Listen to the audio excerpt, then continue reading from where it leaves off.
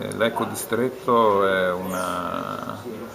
rappresenta una trasformazione di Marghera di tipo strategico. Non stiamo salvando il salvabile di una vecchia attività né recuperando quello che è recuperabile sul mercato per trovare qualche posto di lavoro che naturalmente non va mai male ma non avrebbe respiro. L'ecodistretto è un pezzo dell'industria del futuro, quindi della Marghera del futuro e il ciclo del riciclo del vetro è una delle più avanzate componenti di questa nuova industria.